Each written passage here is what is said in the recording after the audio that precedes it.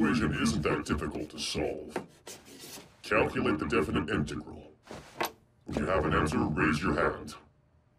Mr. Ectoplasm always gets so hardcore with this kind of stuff. Start by carrying the yay. Even Yaoyorozu was puzzled, and she's at the top of our class. Mathematics is truly a cursed subject. Midoriya, 107 over 14! incorrect. 君の虜になって